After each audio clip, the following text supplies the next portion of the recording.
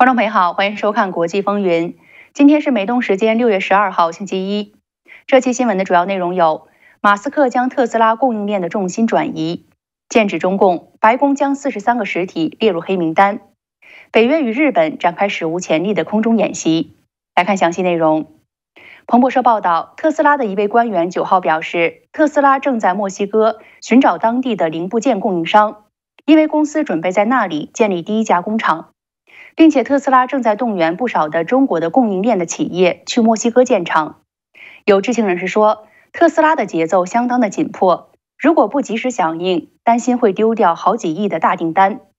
消息一出，中国的网友一片哗然。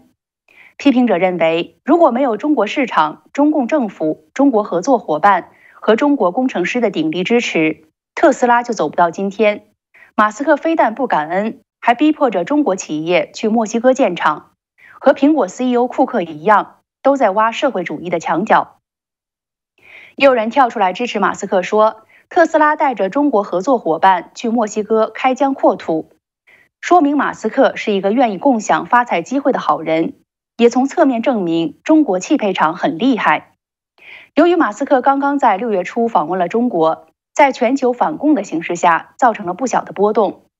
过程中，中共是高规格的接待，以及马斯克本人不寻常的低调表现，也被各大媒体争相的报道。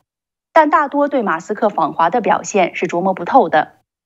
根据证券之星网站的报道，就在马斯克结束访华之后，六月七号，为特斯拉提供电动电池的宁德时代一开盘快速下跌超过了百分之六，相关的概念股也伴随着走软。飞荣达下跌超过百分之四，高兰股份下跌超过百分之三。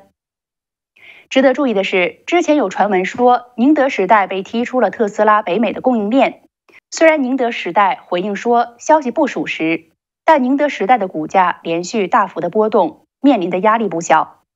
资深评论人士唐静远表示：“那么这个动作，它本身就说明马斯克对当前的中国大陆仍然是保有戒心的。”到墨西哥开厂，它虽然算不上是，还说不上是一个脱钩的行为，但是明显就是属于这种去风险化的性质了。说白了呢，就是他不想把鸡蛋全都装在一个篮子里。那么从这个可以从一个侧面看出，就是中共对马斯克的这种非常优厚的待遇呢，并没有真正的打消他对中国市场巨大的政治风险的顾虑。马斯克上海特斯拉工厂，它的真正的意义呢，其实并不完全在于说它的这种盈利模式，而更多的是在于马斯克他对整个制造业界的一个示范效应。那么现在马斯克他所做出来的举动，事实上已经在很大程度上打消了这个示范效应，就是只是回归到了一个正常的在商言商的商业思维。这个本身对中共来说，可以说就是一个坏消息了。美国南卡罗来纳大学讲座教授谢田认为，马斯克动员中国那些公司花钱去墨西哥设厂，可能不是中共想要的。他表示，他希望在那个墨西哥的那个特斯拉，也有中国那些呃供应商来提供。事实上，直接这个呃在墨西哥建立一个竞争者，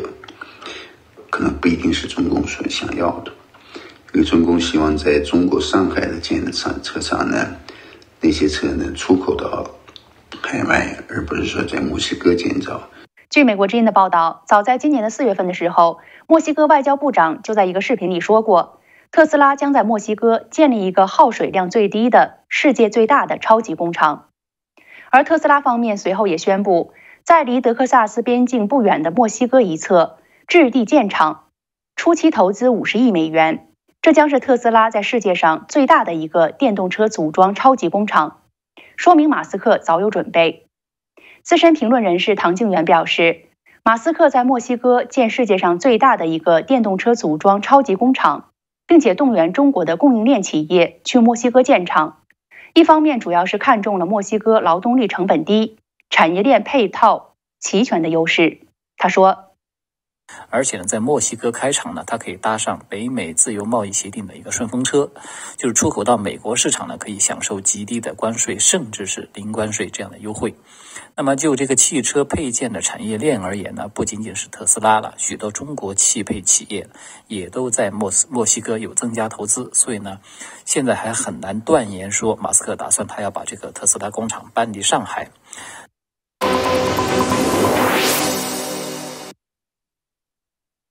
拜登政府十二号将四十三个实体列入出口管制名单，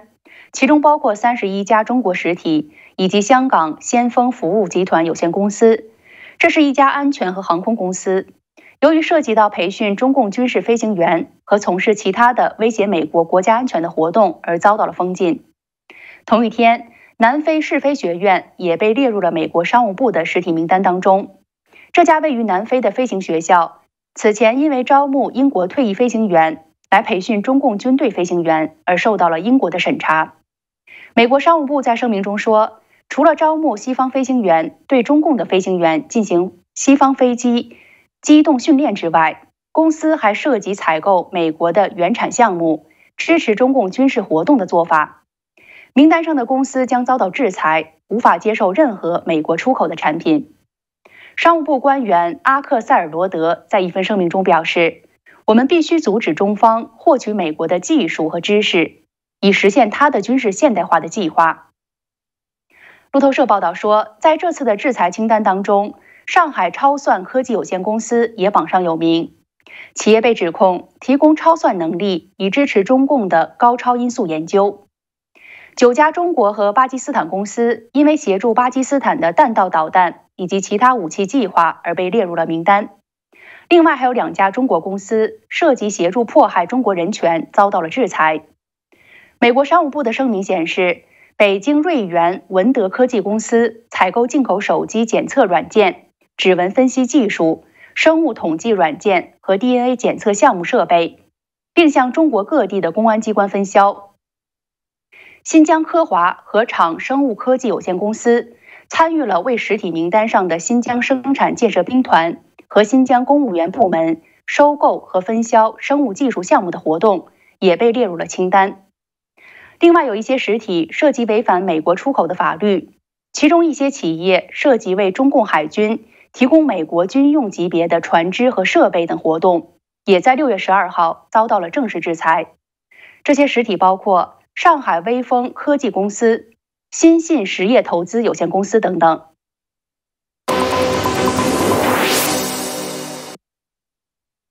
六月十二号，以德国为首的二十五个北约成员国与日本、瑞典等伙伴国家动用了两百五十架军用飞机，在欧洲展开了名为“空中卫士二十三”的空中演练部署。这也是北约组织有史以来最大的军事演习，多达一万名军人参加。这次演习将持续到六月二十三号，目的是保卫北约领土，在发生袭击时抵御无人机和导弹的侵袭，同时与合作伙伴国家一起防范来自俄国等国家的潜在威胁。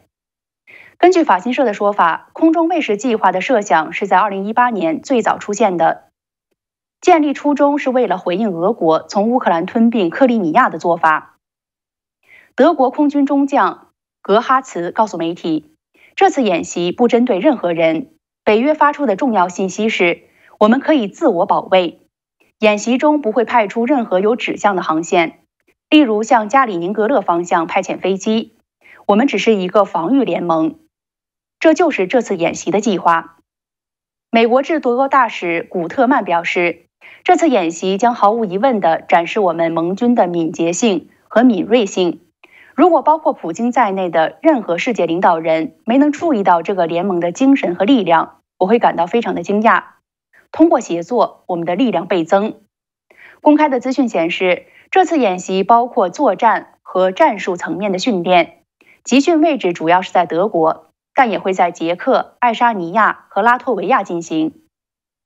共计开展大约两千次的飞行演练。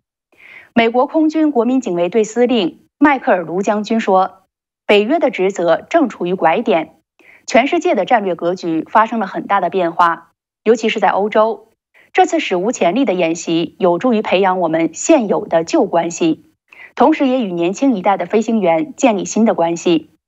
因此，现在要确定在大国竞争当中与大国对抗意味着什么。而古特曼说，虽然盟国没有计划让空中卫士演习成为一项经常性的演习，但是我们也不希望这是最后一次演习。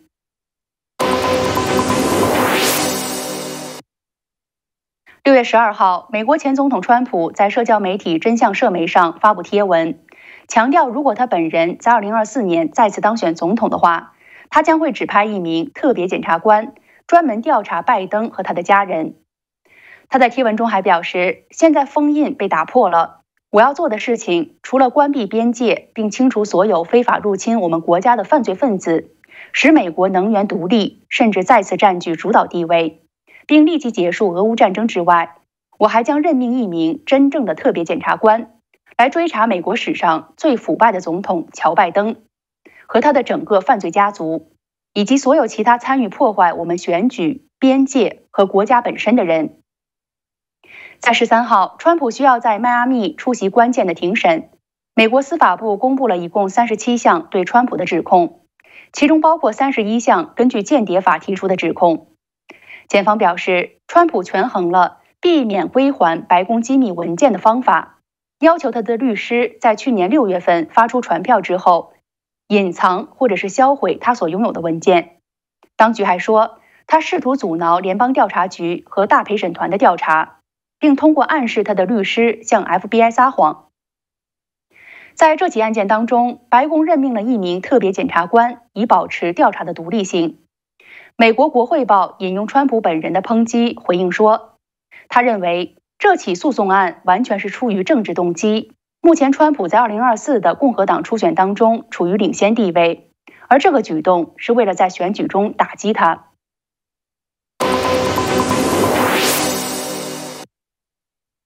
根据美国财富杂志十二号的报道，提前八年大学毕业的美国十四岁的神童凯伦·库瓦兹准备在马斯克的 SpaceX 开始新工作。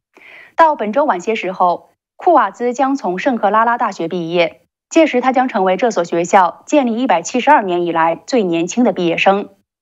库瓦兹在自己的社交媒体上写道：“下一站 SpaceX，我将加入这个星球上最酷的公司。这是为数不多的几家公司之一。他们没有将我的年龄作为成熟度和能力的象征，那样的做法是过时的。”